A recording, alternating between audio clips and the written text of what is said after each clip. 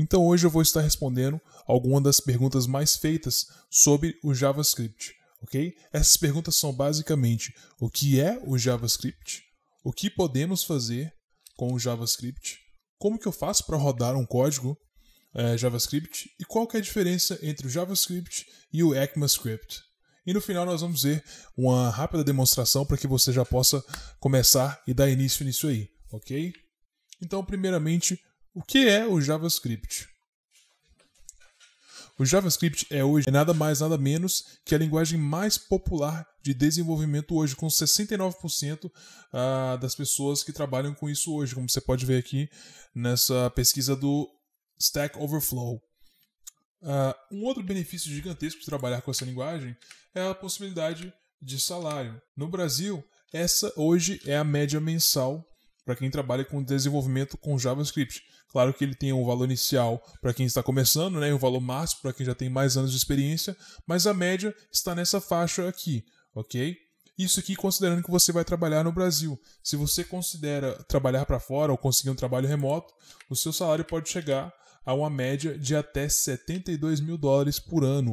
Ou se você estiver aí num patamar mais alto, você pode chegar a ganhar até 120 mil dólares. E quais são as possíveis profissões de quem trabalha com JavaScript?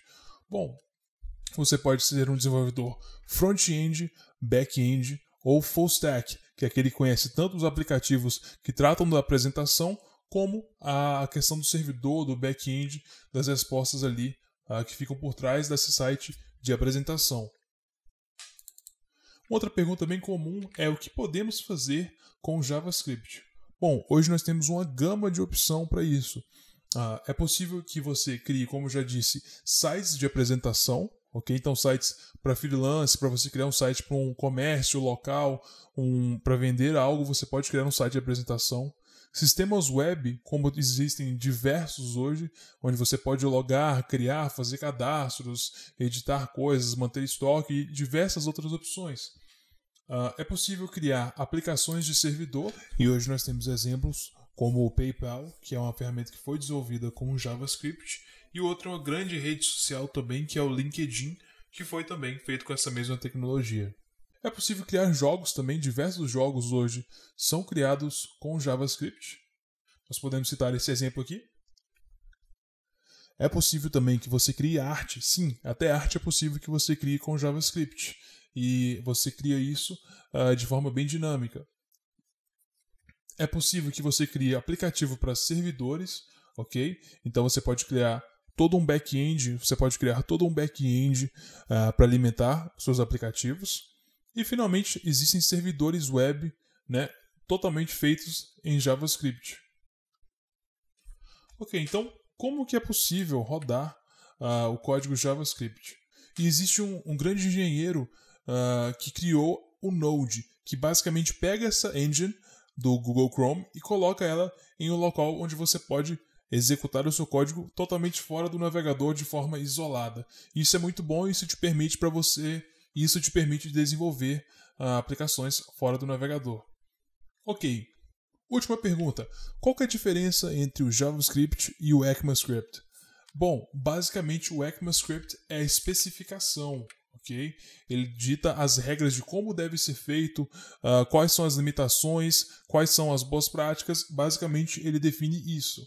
E o JavaScript é a linguagem de programação em si. Aqui nós temos as versões do ECMAScript, que começou em 1997 no ECMAScript 1 e foi até 2011 no ECMAScript 5.1, também conhecido como ES1. E aqui em diante nós temos as outras versões, como ECMAScript 2015, 2016, 17 e 18. Ok, então chega de teoria, vamos ver na prática como que eu posso criar um código de JavaScript. Vamos abrir aqui o nosso navegador clicar com o botão direito e ir em Inspect ou Inspecionar. Vamos clicar aqui em console, que é onde você vai digitar, uh, você vai executar de forma imediata o seu código. vou só apagar isso aqui. Uh, então, nós vamos fazer aqui um exemplo. Vamos digitar aqui console.log, abre parênteses, hello world. Vamos digitar um enter. Então você pode ver que ele já retornou aqui o que você acabou de digitar. Mais pra frente nós vamos aprender exatamente o que, que ele está fazendo aqui. Por enquanto, basta saber que esse código é o código que está rodando no que nós comentamos há pouco. Mais um exemplo aqui, você, caso você queira fazer operações matemáticas, você pode digitar aqui, por exemplo, 10 mais 10, ele vai te dar um retorno de 20. Ok, perfeito. Então ele também consegue fazer operações matemáticas e por, e por último, fazer aqui um exemplo de alert. Alert, abre parênteses, aspas simples, olá. Enter. Então aqui nós temos a resposta, é um alerta feita pelo Google. E é exatamente o que nós vamos continuar fazendo agora nas próximas aulas, é aprender um pouco mais sobre essa tecnologia que está em grande demanda, grandíssima demanda hoje, para que você possa também aí estar engrenando nesse mercado, ok?